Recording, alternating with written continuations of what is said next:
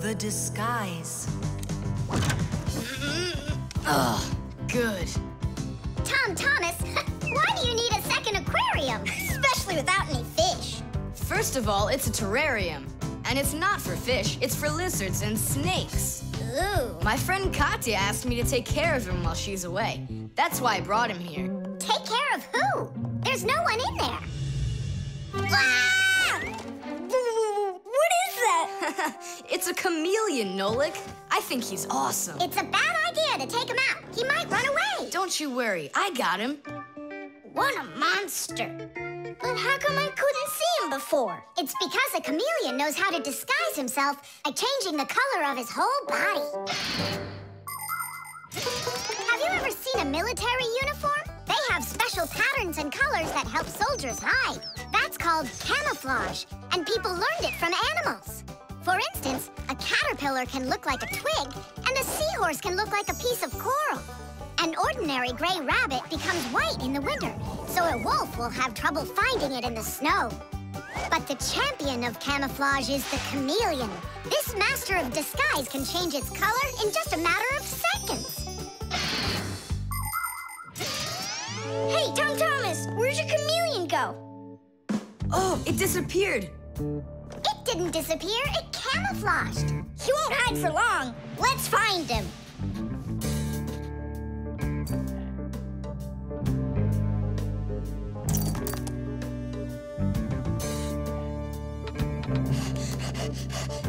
Chusaka, have you seen the chameleon? Where is he?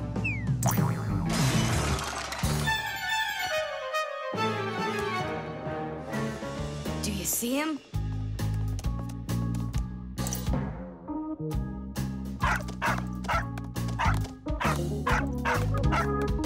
No, he's not gonna let us catch him. We're gonna have to, to trick him into coming to us. Uh-huh. We can set a trap with something that he likes. What do they like, I wonder? What else? They're food. And what do chameleons eat? Well, like flies or caterpillars, roaches. Where's the fly gonna come from?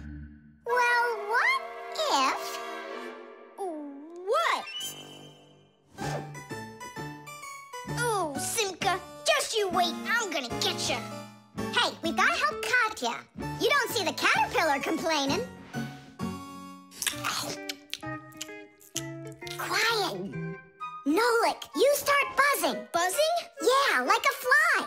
Yeah, and flap your wings, too.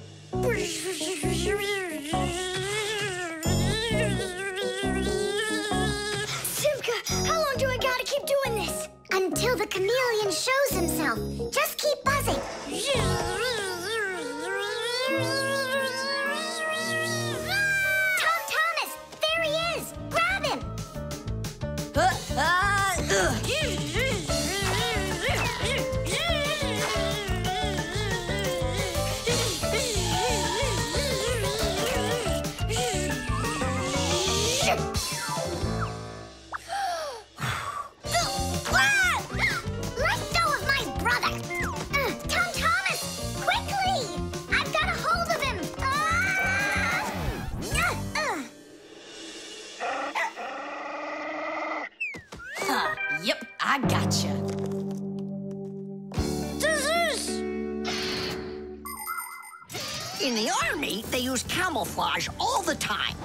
Nets that look like bushes, paint their tanks in colors that make them blend into their surroundings, and even fly in special planes that can't be seen by radar. They do everything they can to disguise their location.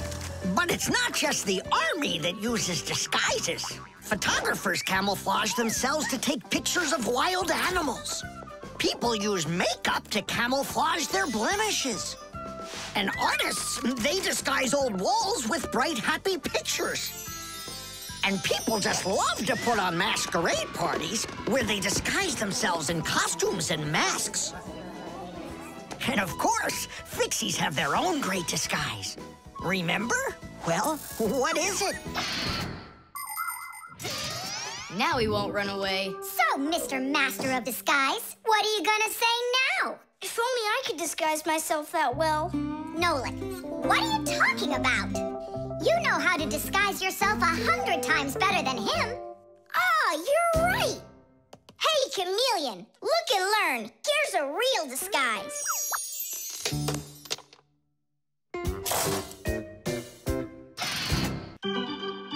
The team. Period is almost over. Tom Thomas's team is leading to nothing. There's no getting around the difference in class. Simka, pass to me.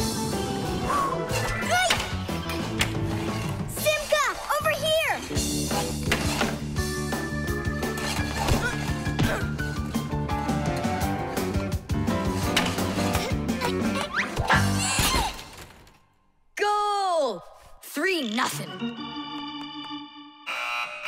And that's the end of the period. Time for the teams to take a break. This isn't a fair game. There's six of these guys and only two of us. Uh, Go ahead and call your classmates. I'll still outscore you. you sure about that? Uh-huh. Well, Tom Thomas, you asked for it. Fixies take classes and study just like human kids. But Fixie schools are quite a bit different than schools for people. To begin with, there are no more than 10 students in a room.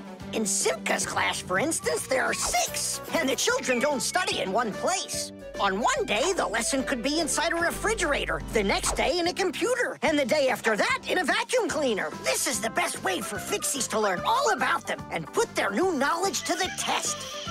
But the most important thing is that they have to learn to work as a team and help each other. Stronger Fixies helping weaker ones, and older Fixies helping younger ones. This is a must for Fixies because appliances are so very big that if we didn't work as a team, we little Fixies could never get by. As the second period is about to begin, our full team comes. Huh? Introducing the engine of our class, Fire! My motor's roaring. And now the brains of our class, Digit! Okay, what's the score? Now here is the spirit of our class, Tula! Could I be our goalie? and here she is, the face of our class, Verda! And oh, what a cute one. So you want to quit, Tom Thomas? I'm not afraid of you.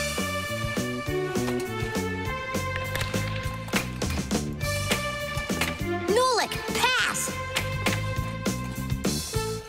Shoot! I'm calculating the angle to use. Whoa! Oops!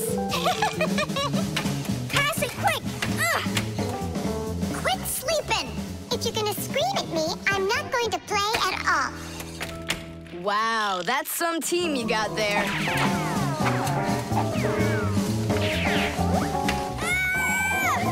Six nothing. Oh. It's a blowout. Now the intermission before the final period. We're missing something here. I can tell you what. You mean confidence? Uh, calculations? Elegance? I know speed. What's missing here's teamwork. Simka, you're right. It's one for all and all for one. Then here's what we're gonna do. We got it.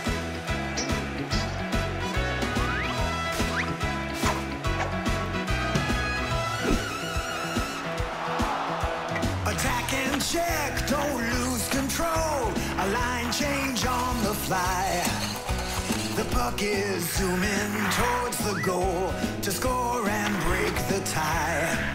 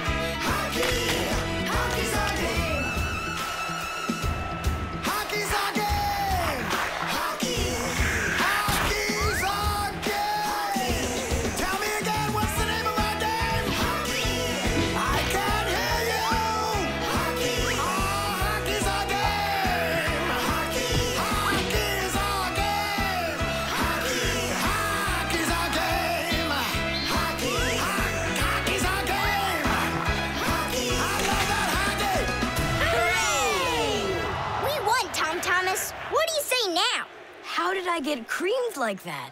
Cause you're by yourself here, and we are a team! Team! Friction.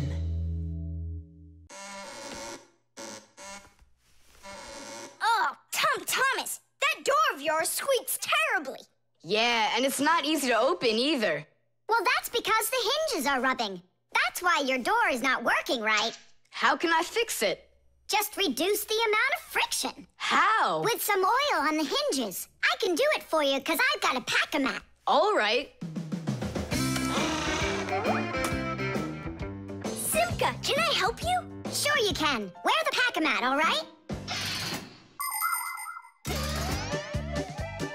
Friction is the force that tries to stop something from sliding or rubbing smoothly against something else. Rubbing can make things wear out quickly if there's a lot of friction. If you want less friction, you need to put something on the parts that rub against each other, like oil. There are special kinds of grease used to keep clocks and wheels turning smoothly. And for skis, a special kind of wax can be used to make them go even faster. That's it. Now the top hinge. It's all done. Go ahead and check how it's working. It's not squeaking. I told ya. You guys are the best. I gotta go. Go where? I'm gonna go sledding. Maybe you'll take me with you? Uh, Sorry, Nolik. You don't have a sled to ride on. I'll see you later. Simka, should I grease the saucer? What for? It'll slide down the hill just the way it is. Ah, okay then. Um, wait here for me, Nolik. I'll be back real soon with a surprise for you. Yeah, oil slippery. I know what I'll do.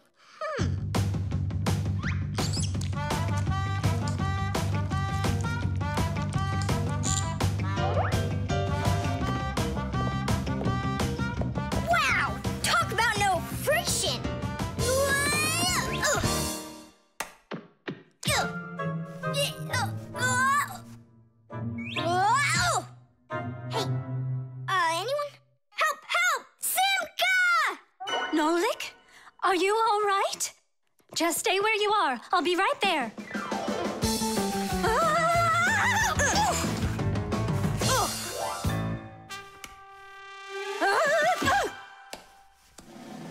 Papus! Papus! Help us, please! Who called for me? Help is on the way! Hup, uh, uh, uh. Hey, what are you up to? Grandpa, stay away from here! You'll fall over. Huh? What did you say? Stay where you are! Hup, uh, uh. What happened here? I poured some oil on the table Why'd you do that? to reduce friction. That's brilliant. Nobody move! I know exactly what to do.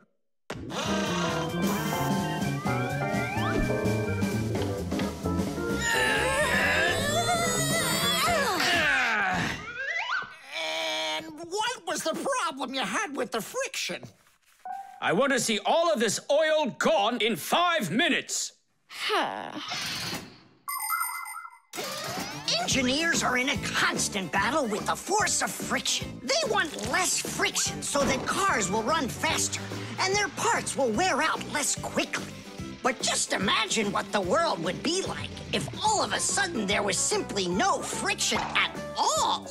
Everything would start slipping out of our hands and falling off the table. Knots would untie themselves, and that's not the half of it. Cars wouldn't be able to run without friction either. Wheels would spin around and around in one place, unable to grab onto the road. We wouldn't even be able to walk. Because when we walk, we move forward by pushing off the ground with our feet. And how can we do that without friction? We can't. So now I think you can see why it's not so bad to have a little bit of friction in our lives. Whew! We cleaned it.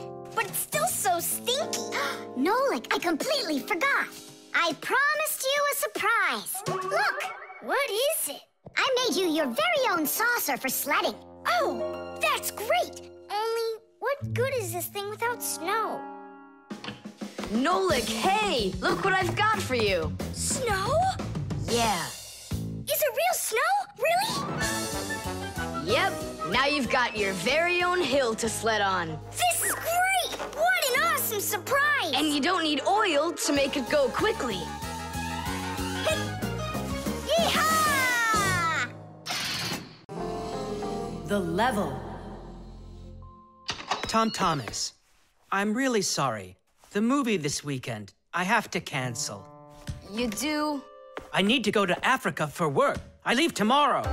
Oh, cool. You think I could go with you? To Africa? Can you even find it on the map? Africa. Here we go. Mm-hmm. No, you're still too little. When you grow as tall as the top of Africa, then I'll take you with me.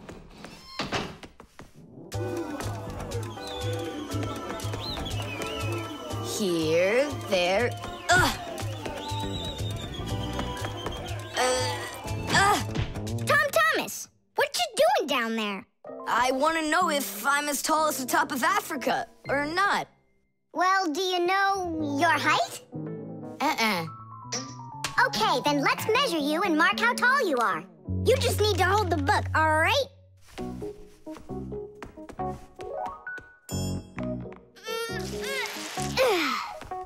Simka, uh, how do we measure what's higher? The top of Africa or this line over here? Hmm. Hmm.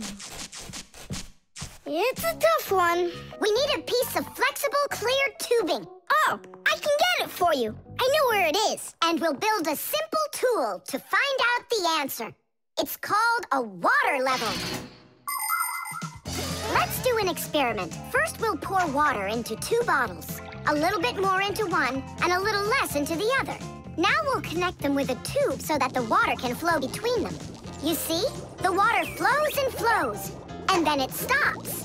It stops when there's the same amount of water inside of both bottles. And if we do this with a simple tube, it becomes a useful tool called a water level, in which the water on both sides is always the same height.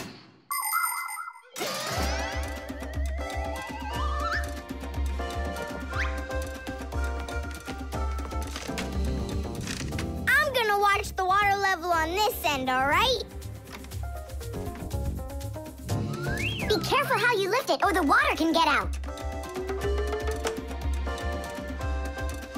Nolik, what's going on? The water inside the tube is even with the line. There you go, Tom Thomas. Where the water is right now is how tall you are. And? Well, it looks like Tom Thomas isn't quite tall enough for Africa. What if we hold the tube a little higher? You can try if you want, but the water's gonna stay where it is. See? The water level on your side always stays the same as on the other side. Uh, I'm not getting that tall for a while yet. And what if we just lower the map a little? That wouldn't be honest. But it would be clever. There are a lot of great proverbs, but my favorite one is measure twice, cut once. And to measure things right, you need measuring tools. The simplest one is a ruler. With its help, we can find out the length of an object. A watch can tell us how much time has passed. A speedometer shows us how fast we are moving, like in a car or on a bike. An electric meter keeps track of how much electricity we are using. A decibel meter can tell us who is screaming or stomping louder. And a beam compass is used to accurately measure the size of a coin or a hole. We couldn't get by without wonderful tools like these. If we didn't measure the things we are building carefully, everything around us would just come loose and fall apart. Uh-oh. Dad! Dad! Look, Dad. Hmm, that's strange. Looks like you are a little taller. Does that mean you'll take me with you? Yeah. Are you ready? Yay! Ugh. But everyone who goes to Africa has to get vaccinated. You're okay with that, aren't you? I need vaccinations to go. Are you sure? Yeah, there's one against malaria, tsetse fly, crocodile bites. Altogether, there are 10 shots. Ten shots? Yeah, 10. Oh. Dad, you know, I was joking. After you left the room, I moved the map down. Okay, I see. And I was joking about all those shots you need. What? You mean you don't need to get shots? You gotta, just not 10. So how many? Nine of them. There's no vaccination anywhere to stop a crocodile from biting you. Modeling clay.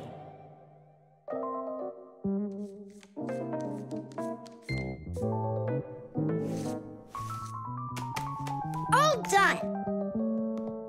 Simka, take a look. I've got my own mm, pack-o-mat. Now look at that, a pack-o-mat made out of modeling clay. But this one's my own, and it looks just like a real one. Okay, you're right, it really does, Nolik. Simka! Nolik, what's up? Hi there, Fire. Wanna play some tag with me? I really wish I could play tag, but unlike you, I've got tons of work. Yeah, like what? Well, a bathroom hook fell down. Tom Thomas broke the lamp on his desk. The aquarium has a tube that's leaking. So go and play. I have to get a pack-o-mat. Oh, oh, oh. I wish I could play tag. Hold on. Nolik, you've got a pack-o-mat. Uh-huh. Although I gotta say, it looks a little strange. That's because it's... Let's fix everything before Simka with your pack-o-mat and my fixie board. This'll be great.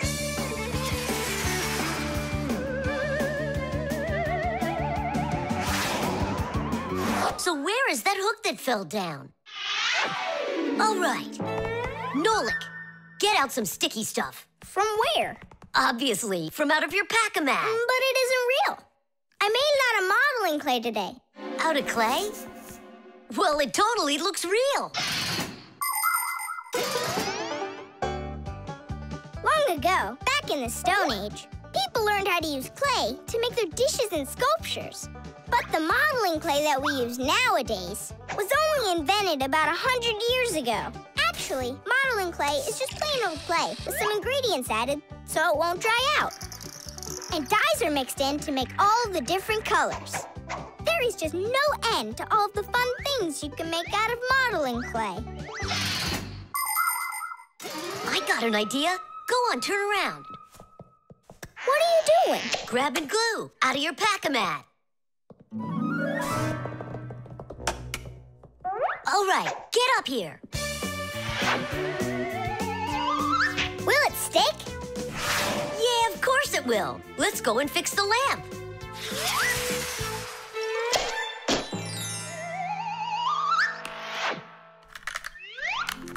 We can't fix this without a real pack-o-mat. Yours will work just fine.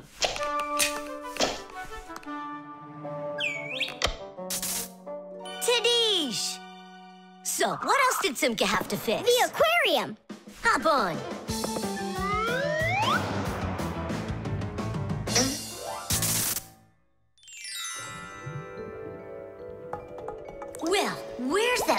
Tube? Here, it's leaking at the joint. Yeah, this tube is gonna need a lot of modeling clay. Give me the rest of your pack-o-mat. Sure. And here's a souvenir. They're all done. What's all done? we already fixed everything. And what did you fix it with? Modeling clay. Ha! Modeling clay isn't gonna hold anything. Well, I say it will. Wanna bet? All right.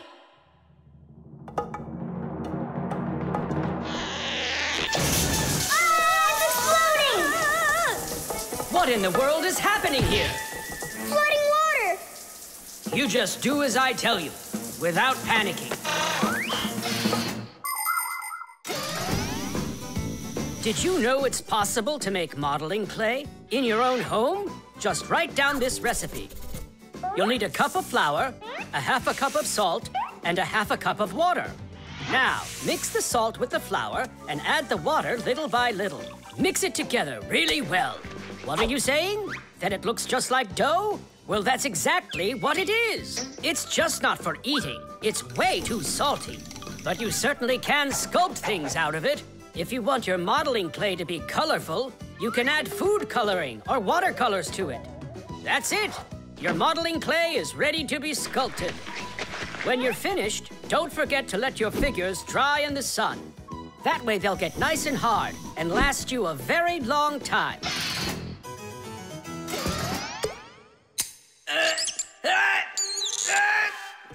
Phew. We almost didn't make it. And did you fix the lamp with that modeling clay? Uh-huh. And the hook, too. That was not a good idea. But it was really quick. Hey, that's true. That's why I want to give a medal to you. You're heroes. For real? Of course you are. And here it is, your medal. But it's made out of modeling clay. Your reward fits your heroic deed. The catapult.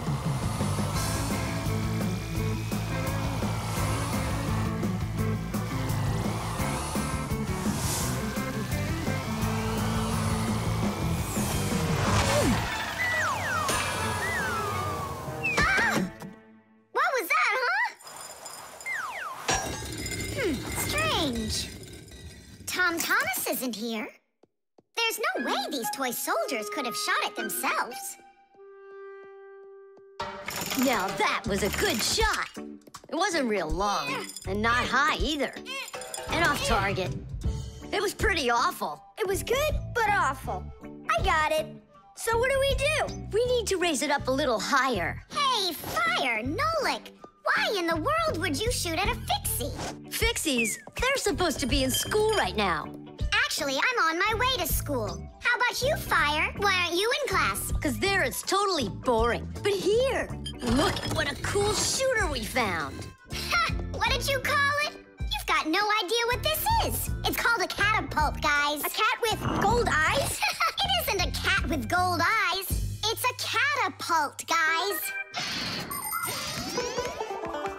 Catapults are ancient propulsion machines. They were used to shoot stones, heavy arrows, or barrels with burning tar. The main part of the catapult is a special piece of rope. It is twisted very, very tightly like a spring. The rope is then wrapped around a big spoon. And then, if you pull the spoon back, put a stone in it, and let it go, the catapult fires a shot. Ooh, and the stone flies far, far away. Uh-huh. All right, so here we go. Ha! Eh, came up short. What do you mean short? What are you aiming at? You'll see. The spoon needs to go further back. Just a little. Guys, you're gonna break the glass. Nolik, now push. All right. Yes, right on target. Now let's fly out into space. Wait, what space? What kind of flying? Who's gonna fly? I'm gonna fly. right out the window. Right up to the moon. First fixing onto the world, Nolik. Are you ready for your flight into space? Yes, sir. Nolik, get out of the spoon now. I'll be the first fixie on the moon. Yeah. Nolik, enough of this. Kind of joke is this? It's not a joke at all. He's gonna fly into space. And how come it's not you? Because he's lighter. Hold on. Humans didn't go straight into space themselves. They sent dogs out there first. Nah, Chusaka's not gonna fit in here. Simka, why don't you go and let us finish? Fine, I will go.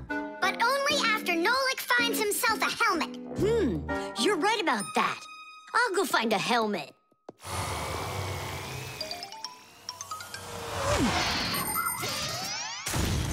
The catapult was invented in ancient times, but people still use them today. Only now, instead of launching stones, catapults are used to launch jet airplanes. You see, the runway on an aircraft carrier is quite short, so catapults are used to help the planes move fast enough to take off. Catapults can also be used to save the life of a pilot.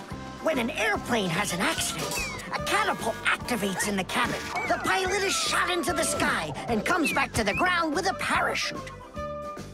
A plain old slingshot is also a kind of catapult. It's just a very little one. But be careful with this toy. It can be dangerous to others and to you too. As for us fixies, the only time that we use catapults is on a peaceful mission. Habus, hurry! being shot to the moon with a catapult! What? And if I meet new fixies up there, what should I say to them? Hi there. And you can ask them to launch you back. So? Let's do it! Fire! Launch it! Stop! Don't! Simka! Nolik! I'm not getting out! Ah!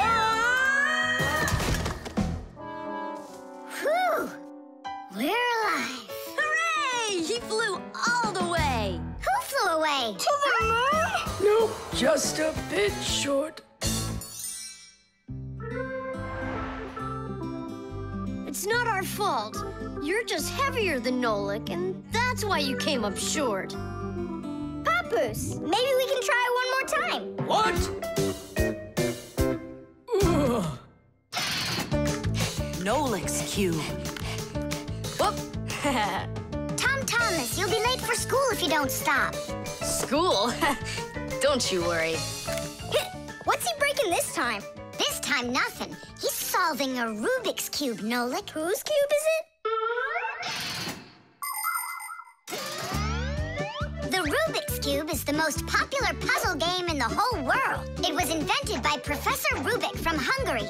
A cube has six sides on it. And on a Rubik's Cube, each of these sides has nine squares that are all the same color. You start by mixing up the colors. To solve a Rubik's Cube, you have to turn the pieces, and you keep turning and turning them until each side is one solid color again. For instance, red or yellow or light blue. Nothing. Hey, Tom Thomas, how long have you been messing around with this cube already? It's been three whole days of turning.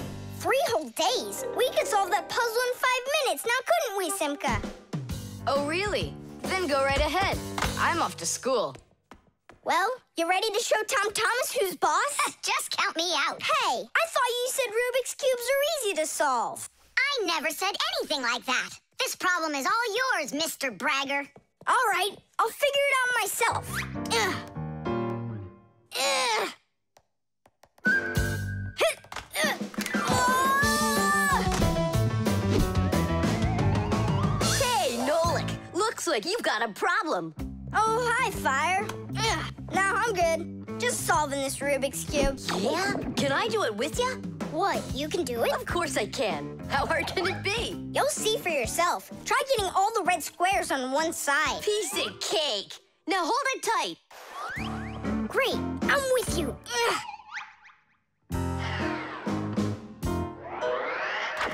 Whoa!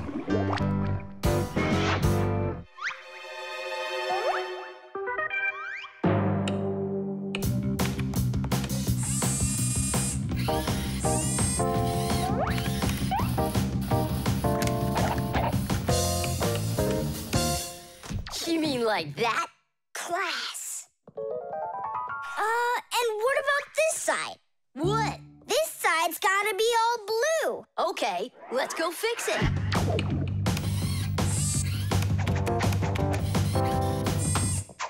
There, like you wanted. Now what happened to the red side? Huh? Simka was telling me that on each side there has to be one color. Oh, like Simka'd be able to do this? Simka can do it all. Well, if Simka can, then I can too.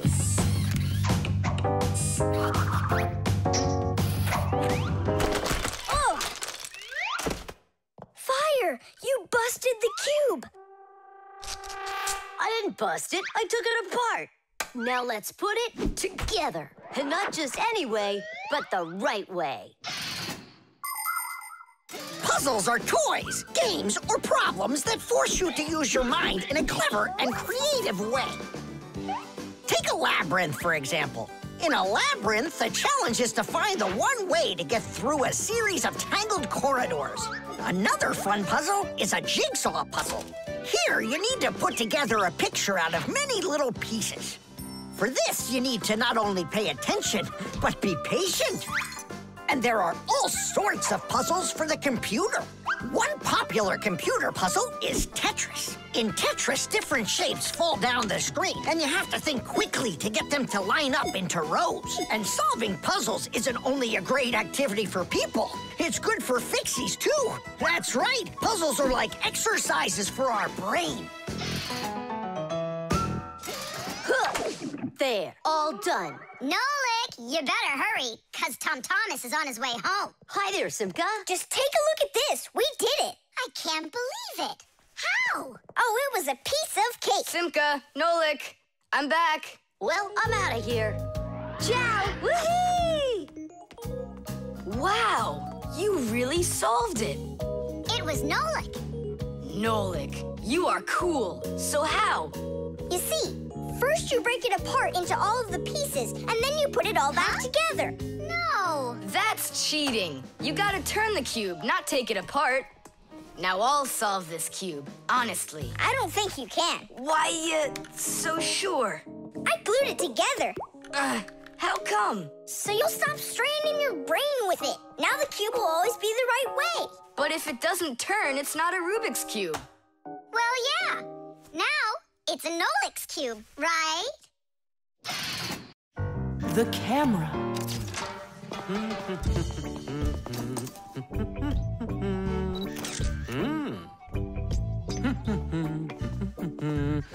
Stop right there and let me see how pretty you look today. Well, just don't tell that to the elevator. Bye bye. Check it out, Nolik. Class, huh? You're not gonna get in trouble for doing that? Uh, no. My dad gave me permission to take a few pictures with this camera. No, I mean the picture. You're sure that your mom and dad will like that you took it without asking for permission? But look, what a good picture. You know what, Tom Thomas? You're like a regular paparazzi or something. Paparazzi. They're the ones that take one photo and get millions, aren't they? You're right. And don't care about anyone except their photo paparazzis. Did you ever wonder how a photo camera works? Let's say you want to take a picture of nature. The light that's outside goes into the camera's lens. That's the glass eye on the front of the camera. The lens takes the light from the scene outside the camera and turns it into a tiny picture that's inside the camera. Then the picture is recorded onto a special electronic sensor called a matrix that's sensitive to light. Click, and there's your photo. What a great idea. Now I know. I'm going to be a paparazzi. Hey, what about your promise? What promise? To never take a picture of us. We're a secret. Stop. Hey, relax. I'll delete them all later.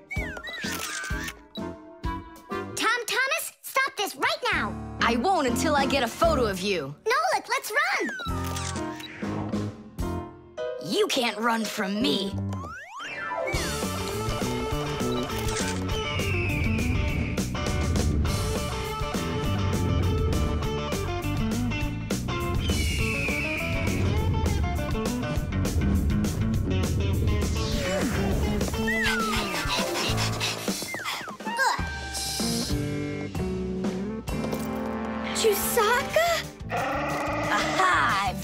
Gotcha. The story of the century. The monster and its prey.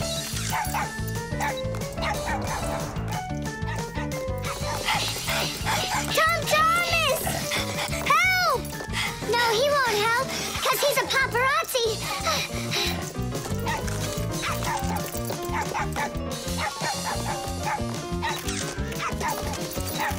Yes! I got it! That's my best photo yet! What's all this noise about? Awesome shot! The first cameras were invented almost 200 years ago, but they worked very slowly. If you wanted to have your portrait taken, you'd have to sit still for a whole hour. After film was invented, cameras got much faster, and it became possible to take about 10 pictures a minute. On a piece of film, everything appears to be backwards. Black parts of the picture are white, and the white is black. It doesn't look normal until the picture is transferred from the film to a piece of photographic paper. Now people shoot pictures with digital cameras that work without any film at all. You can look at what you shot instantly on a screen to see if you like it. And if you don't like it, you can try shooting another one. And today you don't even need a separate camera to take pictures. Almost every mobile phone has one.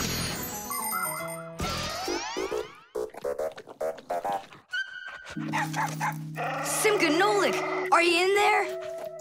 Hey, come out. I'll stop shooting photos of you. Aren't we friends? I'm sorry, guys. Well, your friends were almost eaten alive by a dog. Please forgive me. Want to look at the photos I took? sure, go on. Show us what you got. We're not in that shot. We're not there either. Well done there, paparazzi. Hang on a sec. I still got another one, and you're in it. I know for sure. Look! I'm zooming in. It's impossible. I don't believe it. It's possible. But when did you have time to turn into screws? The same time you were pushing the button. When we're scared, we can change faster than the blink of an eye. You lost. Paparazzi. And what are you gonna do with your millions, Mr. Paparazzi? Uh, would you please stop calling me that? You got it, after every one of those photos is thrown away. All right, I'll delete them. And do I have to delete this one too? No, keep it. It's a great shot. I never even saw you take it.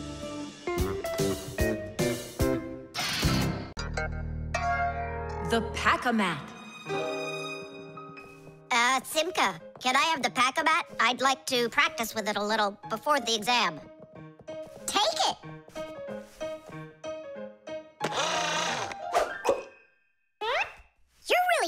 That thing. Good. I couldn't be any worse with it. I wanted a vacuum cleaner. Actually, you were pretty close there. You did manage to get the hose at least. this is not at all funny.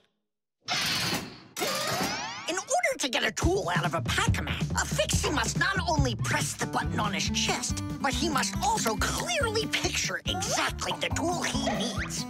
By the time they are adults, this is easy for fixies to do. But while they're children, they must study hard to master this important skill. As fixies learn about new tools, they take exams to prove they know how they work. And if they pass an exam, the new tool is added to their pack-o-mats. And there's no end to what you can find inside. Screwdrivers, hammers, ladders, vacuums, and even soldering irons. But many of the tools that fixies use look quite different from the ones that humans have. And the reason for this is very simple. It's because fixies have to fix appliances that are much bigger than they are. Uh, I just wish I knew which tool was gonna be on that exam. I got it! You just stay right here. Grandpus! What? Um, on the exam, which tool are you gonna ask about? It's a secret. Uh, it's too bad. But I'm sure you can keep a secret, right? Of course. Then I'll tell you. Today's exam is on pliers, you see? You won't tell anyone, will you? Not a chance.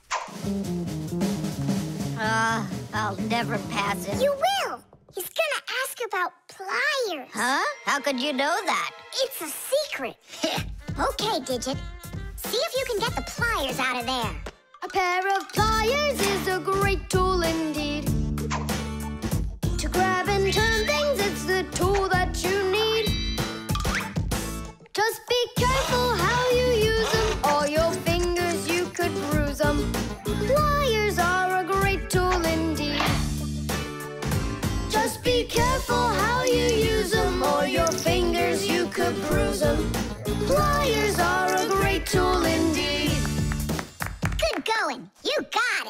Thanks a lot, Nolik. It's not really me you should be thanking.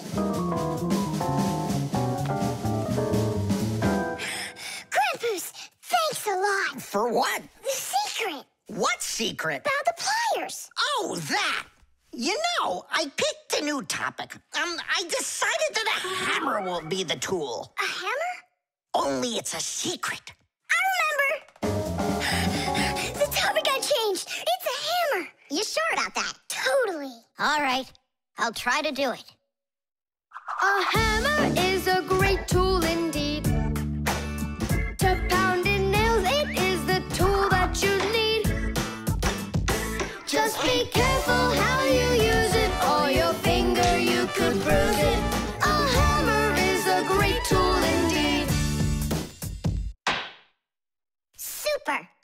Sure you're gonna pass. That's only if he asks me about a hammer. I'll be right back. Grandpus, it's a hammer for sure? Nah. A hammer would be way too easy for those kids. So now it is a drill. A drill? But only. It's a secret! now I know. There's no doubt about it at all. It's a drill! A drill is such a great tool indeed.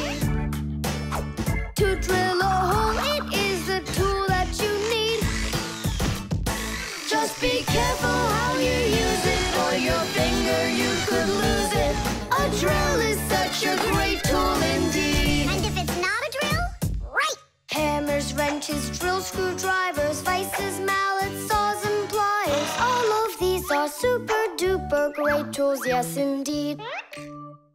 That's all. That's enough of this. I'll just go and take the exam. Yeah.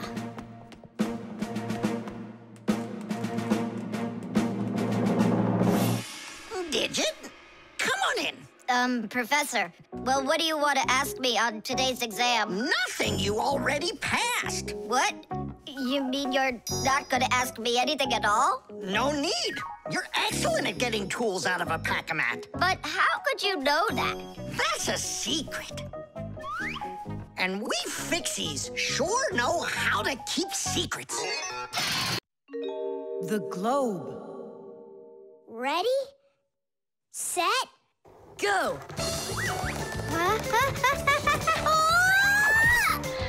Yay! Oh, oh. Again, I couldn't do it. I told you.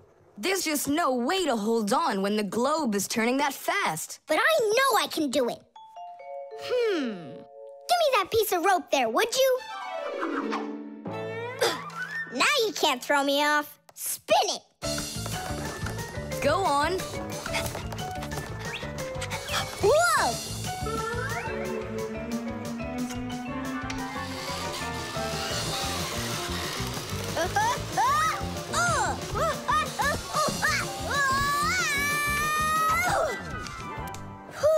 What you doing? Trying to learn a bit about the Earth's gravity? That's a globe, not the Earth. Well, a globe's a model of the Earth, isn't it? Hey, come on, Simka. The globe looks like a ball, but the Earth is flat. We walk on it. The Earth also looks like a ball. It's just a very, very big one. It's not true. If the Earth is really round like you say, then it would throw people right off of it, like the globe does to me. No, it's just that the Earth pulls everyone towards it. Are you sure? The planet that we live on, the Earth, is a huge sphere.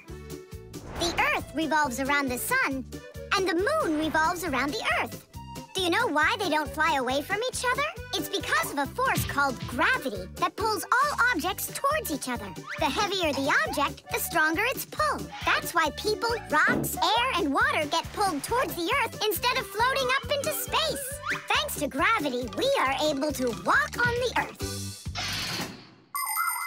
Why doesn't the globe pull on me like the Earth does? Because this globe is very light. Compared to the Earth, this globe is like millions of billions of times lighter. Compared to the Earth, we're specks of dust. He's right. Look, a speck of dust. It sticks to the globe like we stick to the Earth. come on. It's just because no one's turning it. But the Earth's spinning and we stick to it. What? I just don't believe you. There's just no way the Earth is spinning. You've really got no idea how the days all turn into the nights, do you? Do too. It's because the sun goes up and then sets.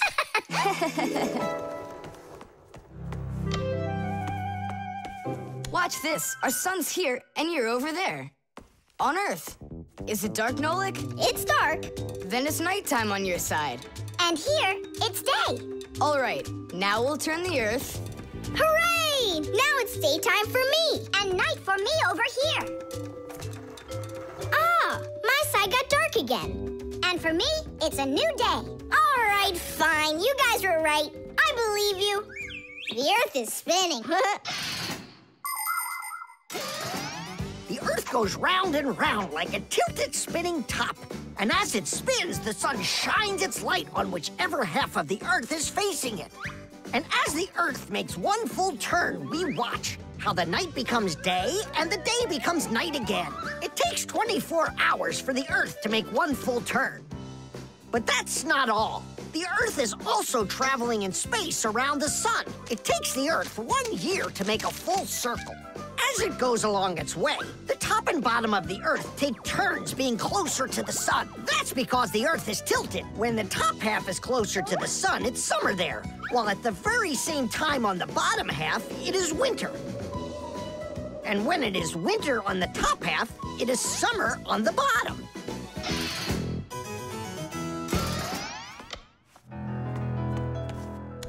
Nolik! Nolik, where are you? Sure. Somewhere in Kazakhstan. The force of gravity is super strong around here. So go on, spin it. You're gonna fall off, Nolik. Don't worry, just do it. Go ahead and tilt it if you feel like it. Told ya! Ha! And you were sure I was gonna fall off this globe. That's strange. Nolik, come on over here. What for? You'll see in a second. I don't want to. You really don't want or you can't. Tom Thomas, take a look. I get it. He stuck himself to the globe, didn't he? Yeah, with the chewing gum. Isn't it time to go? Uh-huh. And me! Well, what about me? Hey! Ah! You gotta help me! Don't leave me! Should we help him?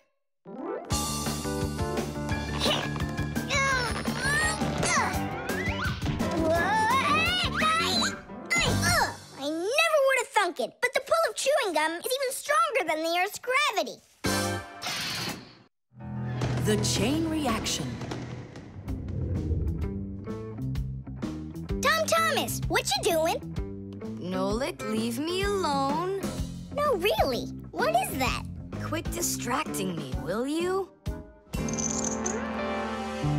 Nolik, look at what you've done. I? It's all because you wouldn't quit it. Wouldn't quit what? I was struggling with that thing for half an hour and you ruined it. Ugh.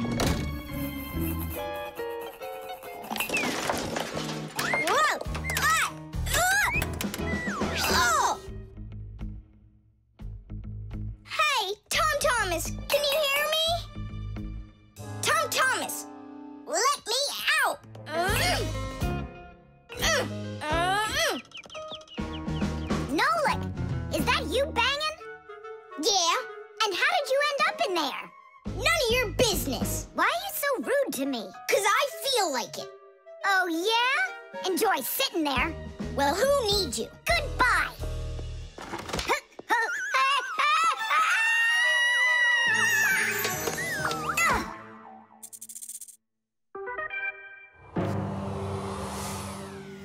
Oh, Simka, what happened to you? Did you bang yourself? And so what? Does it hurt? Leave me alone, Tula. You always have to be fussing over everybody. Come on, why are you so angry, huh? Nolik was rude to me. That means you have to be rude to me? Forgive me, Tula. And where's Nolik right now? There. Let's go see him. Nolik, it's Tula. Are you all right? I'm fine. Why were you so rude with your sister? Because Tom Thomas was rude with me. I get it. It's a chain reaction. A what?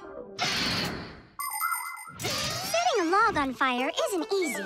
But it's easy to light a match. Use the match to light kindling, the kindling to light a twig, and the twig to light the log. Have you ever seen a fire grow? It's an example of a typical chain reaction. So be extra careful with fire. Because just one match or little piece of smoldering coal can lead to a huge disaster. Yes, they can make a whole forest burst into flame and burn down to the ground. And all because of a simple chain reaction. I don't get you. What chain reaction? What do you mean, Nolik? Tom Thomas was rude to you, then you were rude to Simka, then Simka was rude with me. So there it is, a chain reaction. Yeah, and the rudeness was like a little spark. It just spread and spread and spread like a forest fire. Will you forgive me, uh, Simka? Yeah, all right. I've got an idea. Why don't we try starting our very own chain reaction the other way around? What do you mean? Well, instead of spreading angry and rude feelings, we could spread happiness. But how? It's simple. All we need to do is smile and say nice things to each other. What a great idea! We could work together and fix Tom Thomas's mood. And I know how. Come help me pick up this domino, will you? Everything in the whole universe is made up of atoms. Particles so extremely small that you can't even see them through a microscope. But when a tiny atom splits, it makes a tiny explosion.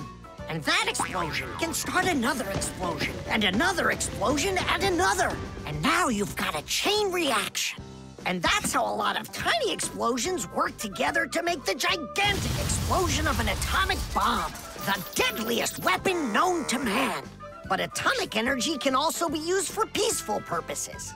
For example, nuclear power plants use this energy to produce electricity and hot water. And nuclear-powered icebreakers can break through the thick Arctic ice so ships can sail on their way.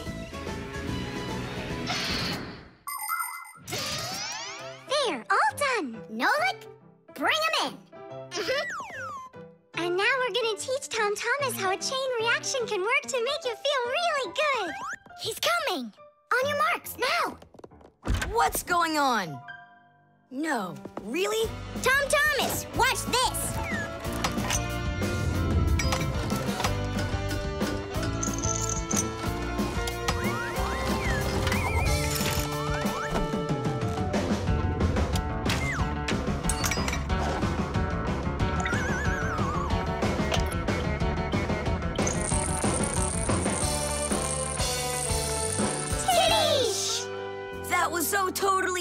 Awesome! I can't believe what I saw!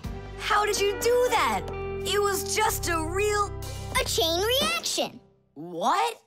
A chain reaction. The prosthesis. Simka, over here. Take a look at what I found. Eh, it's a bear. Ooh. What bear did you find, Nolik? You know, it's the one Tom Thomas told us about. He was his best friend in the whole wide world. Until he became friends with you and me. What? Uh, oh. Uh-huh. Let's try to wind him up.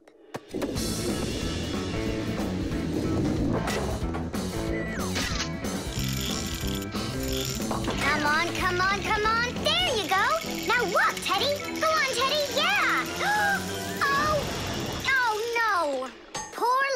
Teddy bear. They ripped his leg and didn't care. We didn't rip his leg. It was already broken. It's all clear. A compound fracture. Then why don't we fix him? Tom Thomas will be so happy.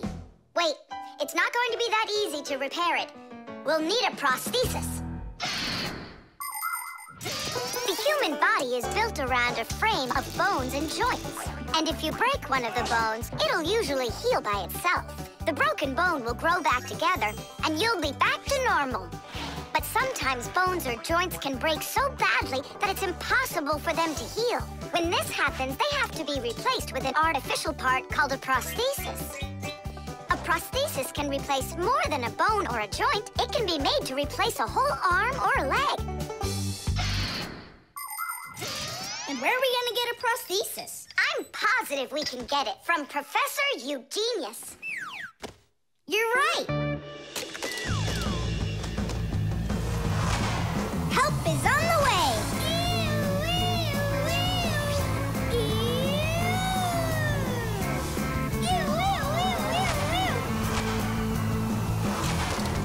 Hello, Professor Eugenius.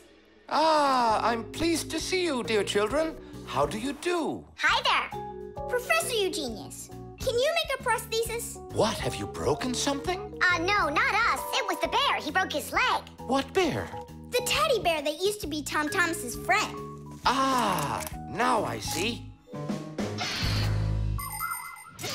Today, with the help of modern prosthetics, more is being replaced than just arms and legs. For example, if you lose a tooth, it can be replaced with an artificial one. That's also a prosthesis. And there are times when a person starts losing their vision because the lens in their eye gets foggy and can't focus. For this, there's another kind of prosthesis, a new clear artificial lens. A prosthesis can also be used to help people with poor hearing. A tiny device can be put inside of somebody's ear so they can hear what's going on. And that's not all. People have also learned how to treat a sick heart by replacing its worn out parts with prostheses. What fantastic inventions these prostheses are. It's amazing what they can do. They help people live a full life. Professor, is it working out? We'll know soon enough.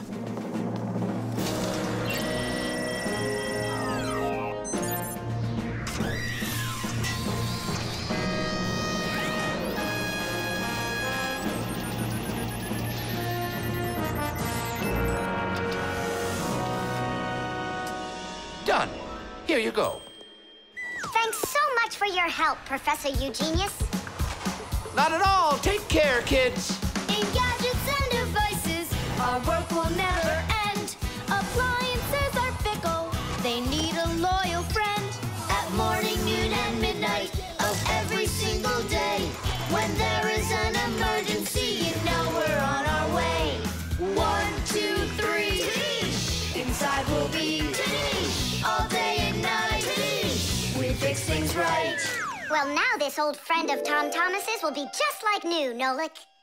Simka, if Tom Thomas makes friends with the bear, then what? Will he stop being friends with us? Hi, everybody.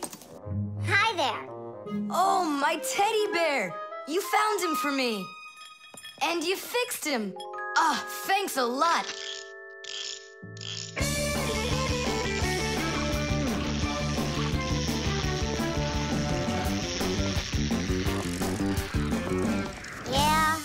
It's just like Grandpus said. A friend that's old is better than two that are new. Who's new and who's old? Well, the bear is old. And we're new. Nolik, it's not true. You're the Fixies, guys. You're my very, very best friends in the whole wide world. Tish! The barcode. And so, what do we do if we happen to see humans? Hide from them, right? And what if you've got nowhere to hide? Then we turn ourselves into screws. That's correct. Where could it be? Uh, where on earth could I have put it? Oh, I'm such a scatterbrain. Ah, it's Professor Eugenius. There's no need to hide from him. He's our friend. Where has it gone? Ah, did you lose something again, Professor? Yeah, how did you guess? It's just awful. Yesterday I started testing a new iron, and today, ah, it's totally disappeared into thin air. Where could you have put that thing? Um, I've got it down to two places. It could be in the warehouse or mm, not in the warehouse. Yeah, that information will help us find it. Or not help us find it. Class, follow me to the warehouse.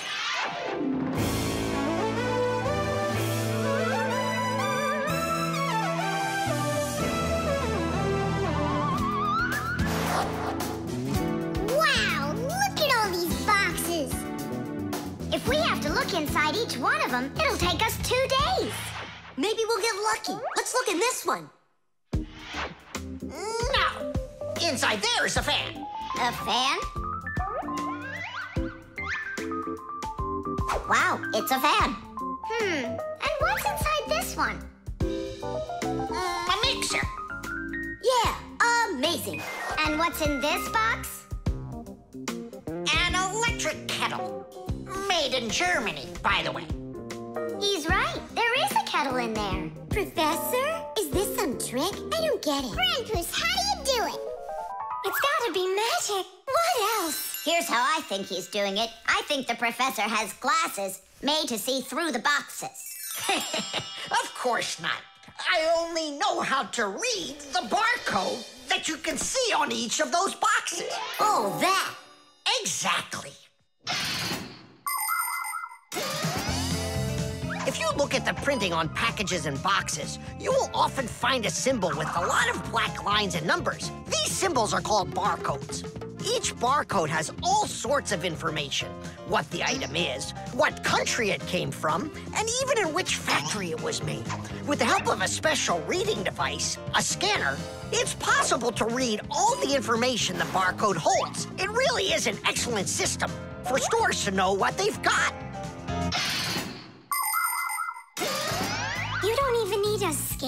To do it? I can figure out barcodes without one. I'll teach you if you want. Class.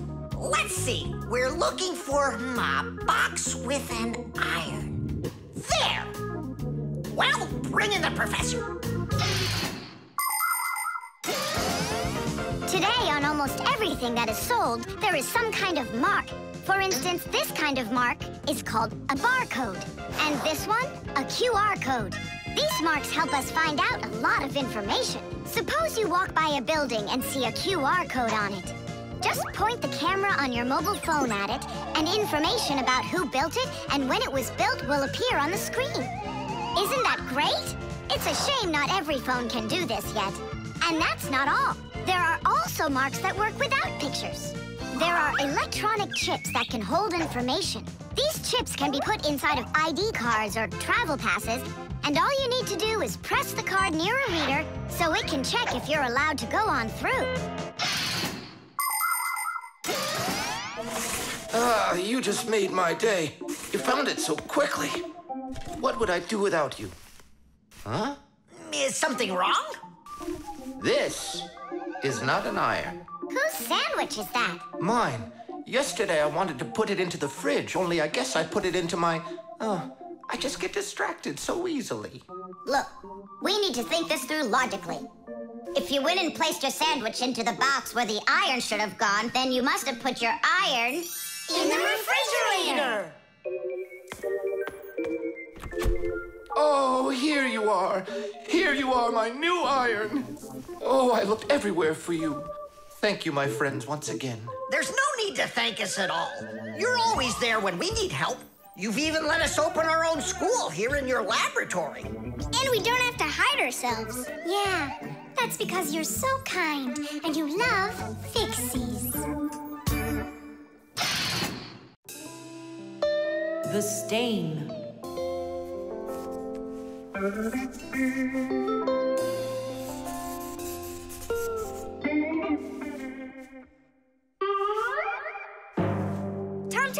What's going on? If you really want to watch TV, then you gotta turn it on first. I'm not watching it, I'm looking at my reflection.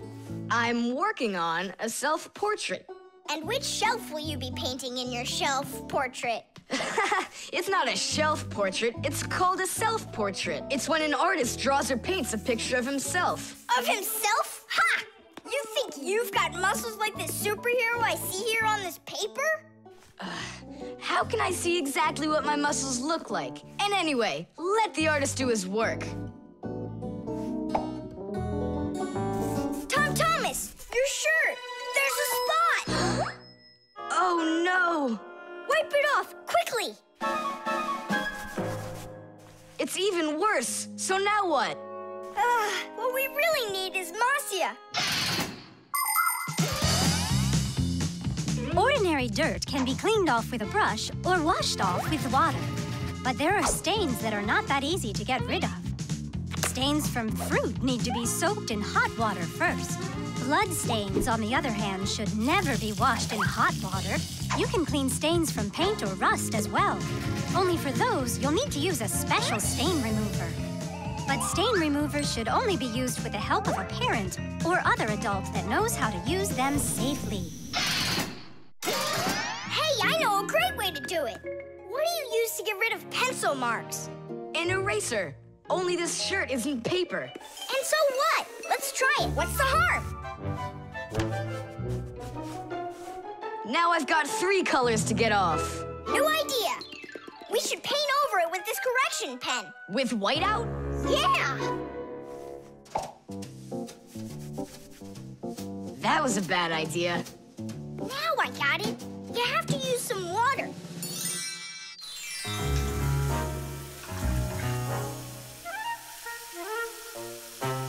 The wash should be better, don't you think? No, you can't wash whites with colors. And you've got a white shirt with colors all over it. Then how about if we try some more water? How much more can you use?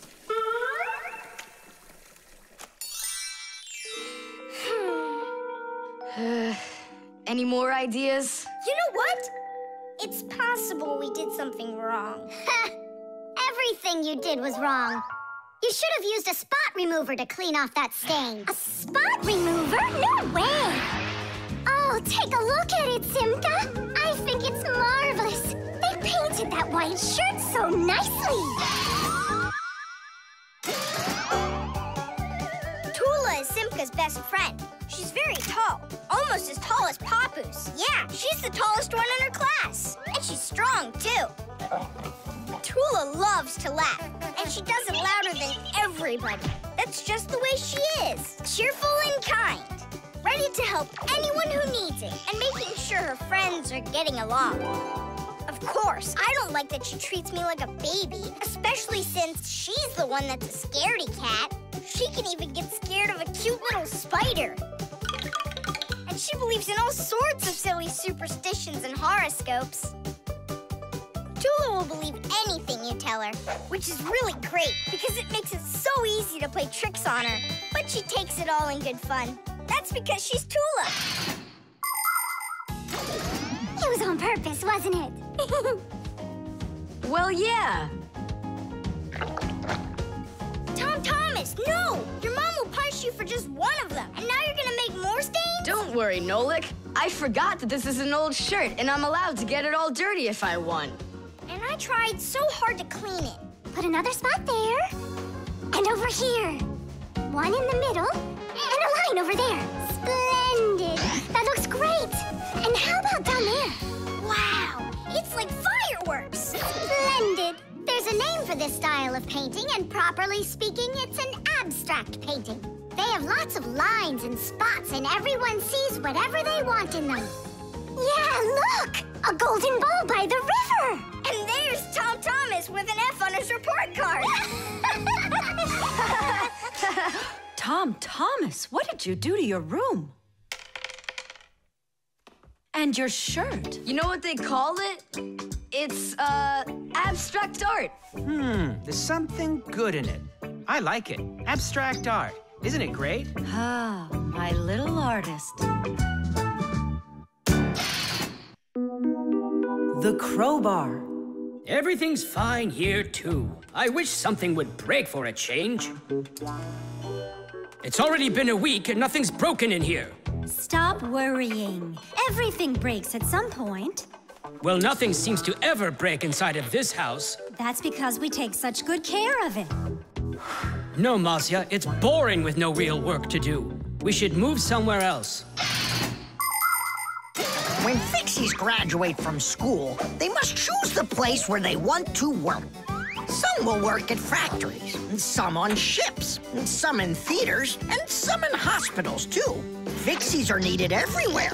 Now, Fixie families with children like to choose places that are a bit quieter. Usually, they'll settle inside of people's houses. It's not too noisy there, like in a factory, but there's still plenty of work to do. They need to check on appliances like computers, vacuum cleaners, telephones, irons, and washing machines. And Fixies always try their best. They just love being busy with work. And so, if there's nothing broken in the house, Fixie families will move to a new place where there's much more work to be done. Nolik, did you hear that? Uh, I don't want to move anywhere.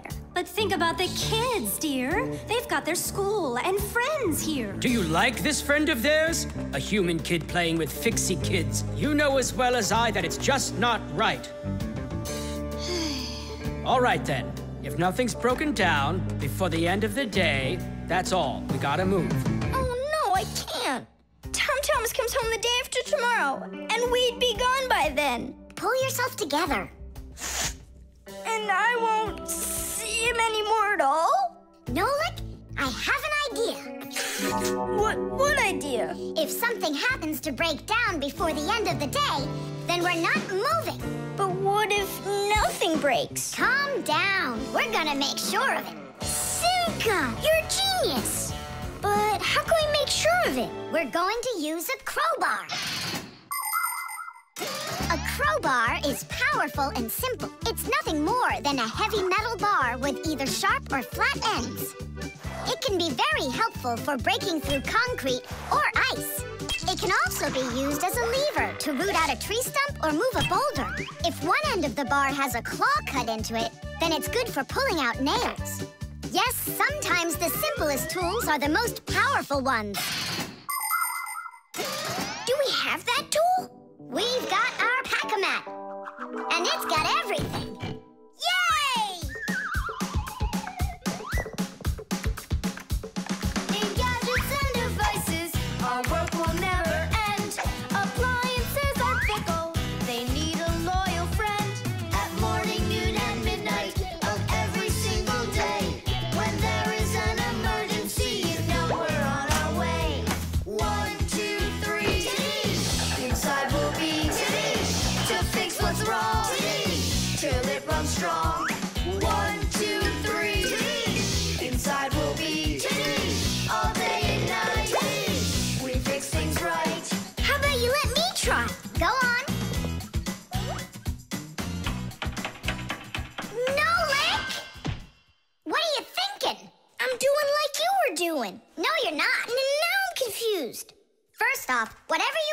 You break's gotta look like it broke all by itself.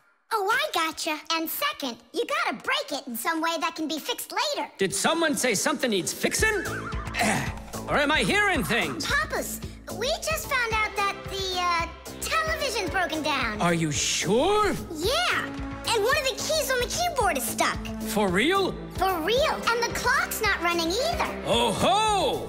Masya, our life is getting back on the right track. Should we fix them? Yeah, what else? We are the Fixies! We live to keep on working, and work for us is fun. So we'll just keep on working, cause our work's never done. And deep inside of gadgets, if you look when it's dark, you might just see us race around like multicolored sparks. One, two, three. Inside will be to fix what's wrong. Till it runs strong. One, two, three. Inside will be all day and night. We fix things right. Tidish! Oh, that was a lot to do. You'd almost think that somebody broke it on purpose. Well, we didn't do it. It broke by itself. Yeah, this apartment still needs a lot of work. We shouldn't move anywhere. I like it here. So do I. It's the best. See, we don't need to go anywhere. The doorbell. Nolik! Nolik! What are you doing here? Just whistling a tune. Are you gonna whistle that tune the whole time Tom Thomas is away? He just left with his parents for a week. And we've got guests coming, remember? What guests? I invited everybody. The class? Yes, class.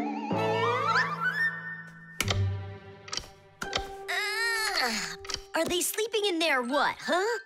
First they invite us, and now they don't want to let us in? I'll share the present with you then. uh, fire. Maybe you'll get it to work now. When they get here, they'll ring the bell.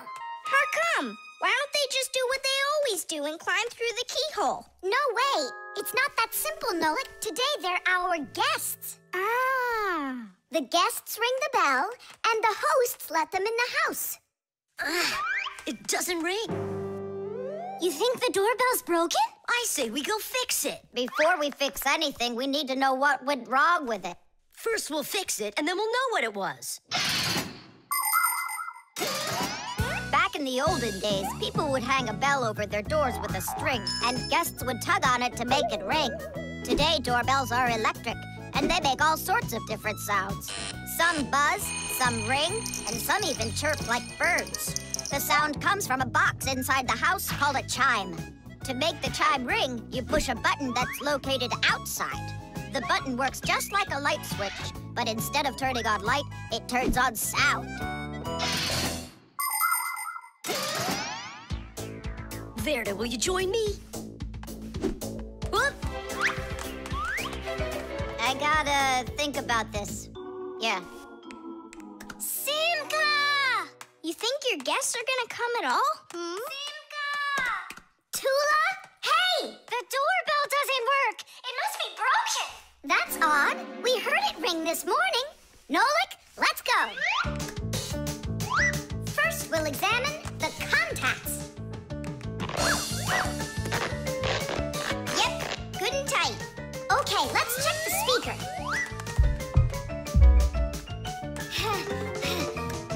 The speaker's fine.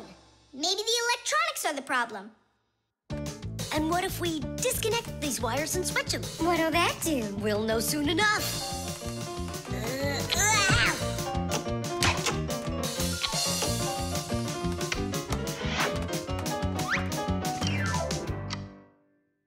You know what? Why don't we connect the wires straight together? Isn't that dangerous? We'll find out. Don't worry, nothing happened yet. Fire. He's the engine of our class. He's the fastest, the nimblest, and the bravest. Fire never sits still for a second, and he's always looking for adventure. New ideas just burn in his head. And that's why his name is Fire. But not all of his ideas are very good, so he's constantly getting bumps and bruises. He just can't help getting carried away. If he's burning with an idea, he can even forget about his classes at school. Grandpus punishes him for that. But it doesn't seem to bother Fire, because some new plan will pop into his head the very next second. To be honest, Fire's my favorite out of all the boys in our class. It's sure never boring when he's around.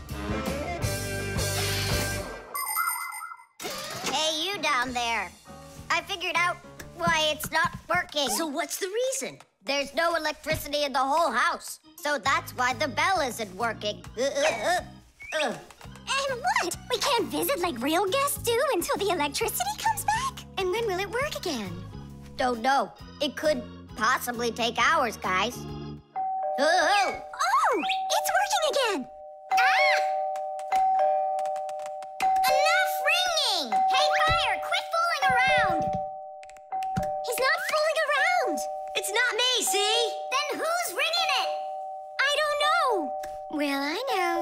The doorbell's ringing because Fire connected the wires together. True, but I'll fix that right now. Ha! Your guests sure are noisy. Yeah, thank goodness the humans aren't home right now. Hello? Hello there, dear guests. Let yourself into our home through the keyhole. So, should we go in? Go where? Go inside. Nah, that's not how guests act. So what do we do? Real guests always ring the bell. Okay, hold me tight. The vent. Tom Thomas. Tom Thomas. Okay.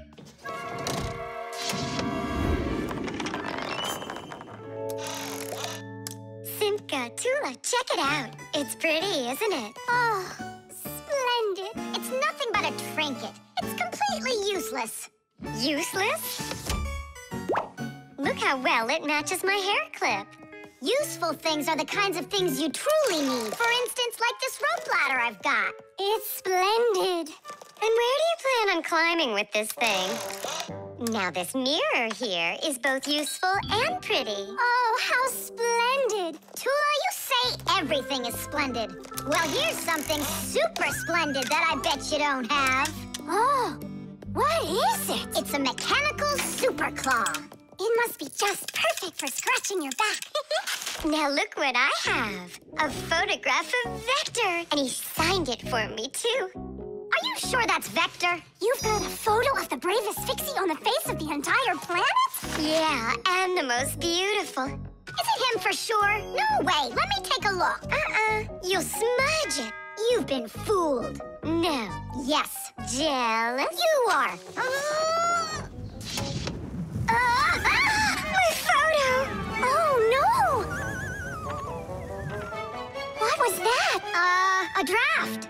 This is completely your fault. It's not my fault. It's your fault for bragging so much. Please, girls, stop fighting. Let's go find it.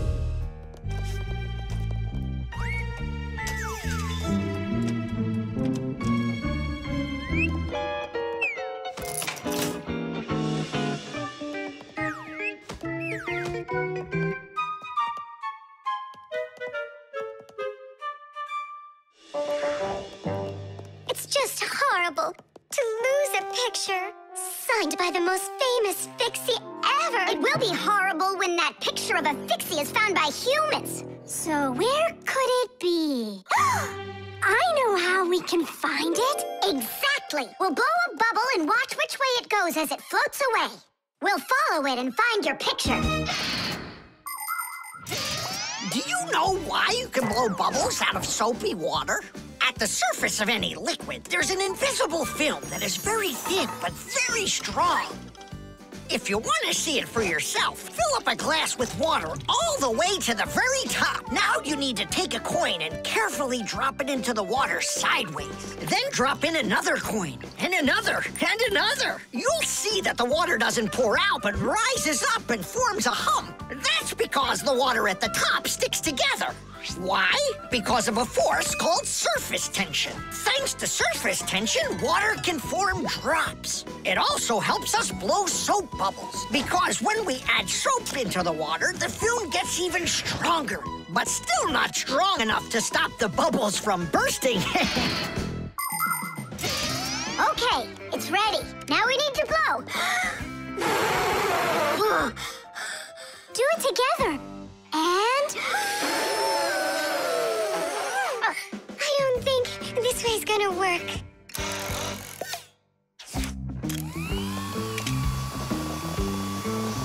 Look, it's flying! We did it! The vent! Of course!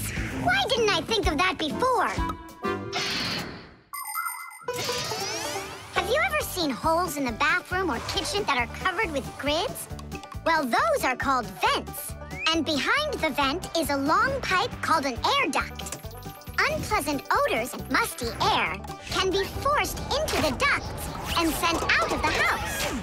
And if you want that old, stale air to leave the house even faster, open a window and let in some of the fresh air from outside. Keep the air in your home as fresh as it can be. Hey, take a look! It got stuck over there! Get it before it flies away! How can we grab it? What do you mean? Don't you remember what I've got? Titties! Thank you, Simka. What would we ever have done without your mechanical claw and your fantastic ladder? Then here you go, a present for you. Oh, thanks, it's just great. And I want to give you this. Oh, gee, it's just splendid. Simka, are you here? What you got there, Simka? A little mirror. It's pretty, don't you think? Oh, you girls. You're all the same. The talking doll. Mama. well then, now you know what you need to do to fix it. Professor! Professor! Our lesson is over.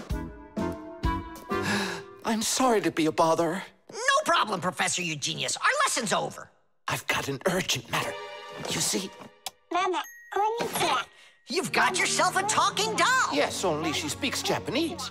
The problem is I've been asked to get her to talk in English. We can teach her. It's a new technology. I'm puzzled. Don't you worry. We'll figure it out, Professor. Thank you, my colleague. You're always there when I need it. What would I do without you? Professor, can you tell us how toys talk? Not now, children. We'll learn about the doll tomorrow. Now it's time to go home.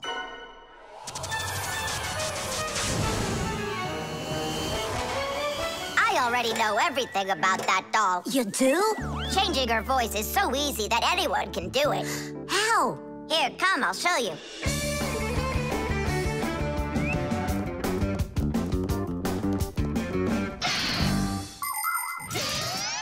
Talking dolls used to work with a noisemaker inside. When the doll was turned over, air inside the noisemaker got pushed through a squeaker at the end of it, making a noise that sounded like the word mama. Mama. Funny. Today, the noises are recorded onto an electronic chip that's part of a little player inside of the doll. Just press a button and the sounds start playing. So now dolls can say much more than just mommy or daddy. They can say anything at all.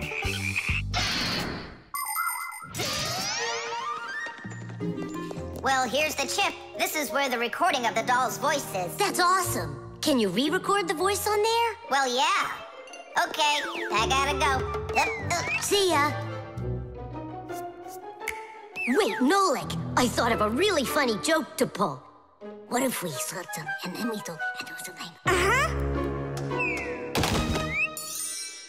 Well, now, as I promised yesterday, I'm going to tell you all about talking dolls. Some start talking when you rock them, while others react to noise. And for this little lady, you need to press a button to get her to talk. Who wants to? Tula. Me? Well, okay. I can do it. Go ahead. And you'll hear her say, Hi there, Mama. but in Japanese for now.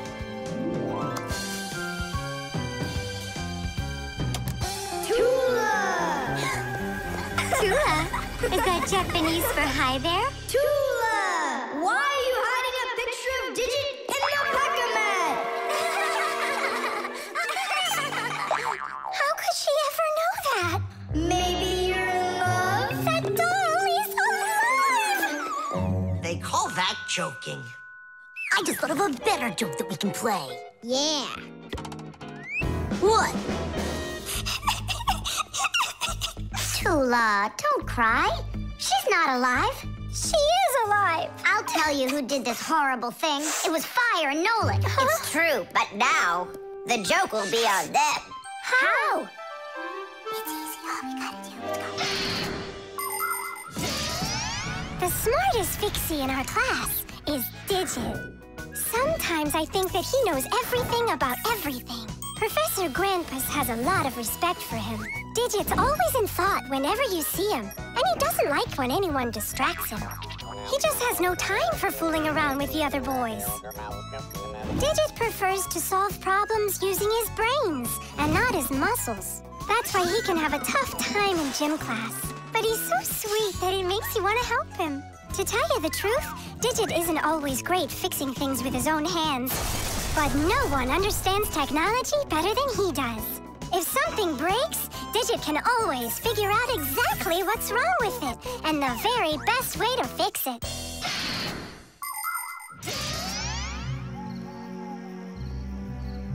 We're gonna make it even funnier this time. Uh-huh. You came back? What? You troublemakers. Now I'll show you what happens to bad boys who hurt